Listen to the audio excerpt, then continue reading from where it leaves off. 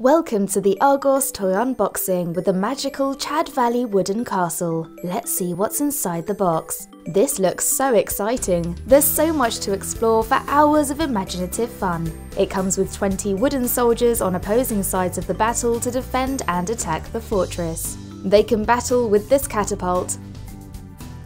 Ready, aim, fire, charge, raise the drawbridge and bringing the ladders. And it all sits on this cardboard playmat which helps to add to the enchantment. And it's a simple yet engaging adventure to build it. Here's how.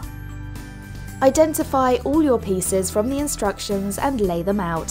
First, slot together the outer walls.